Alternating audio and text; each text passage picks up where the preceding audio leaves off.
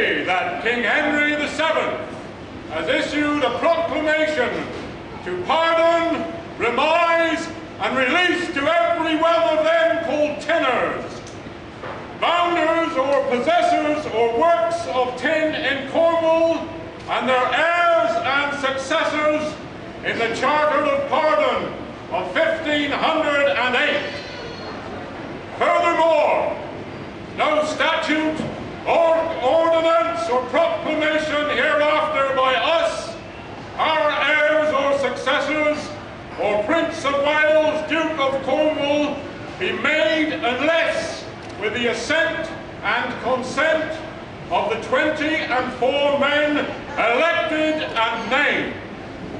And furthermore, the 1508 Charter of Pardon guarantees the rights of the tinners of Cornwall and their successors to veto the monarch, the Prince of Wales, Duke of Cornwall, and Parliament for evermore, for which the said tinners of Cornwall paid £1,000 in the said 1508.